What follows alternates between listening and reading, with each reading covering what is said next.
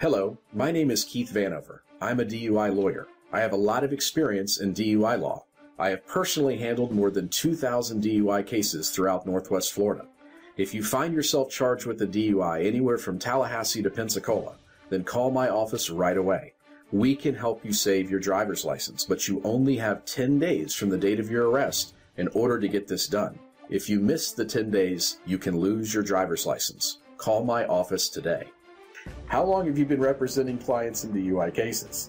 I have been representing clients in DUI cases for over 15 years. I have been out on my own since the day I left law school, and I have only done one thing defend DUI cases.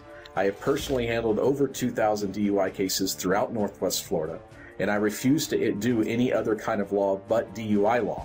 So if you find yourself charged with a DUI, please call my office right away. We will make sure we can keep you driving and we will fight and defend your case within the law and do everything we can to do a good job for you.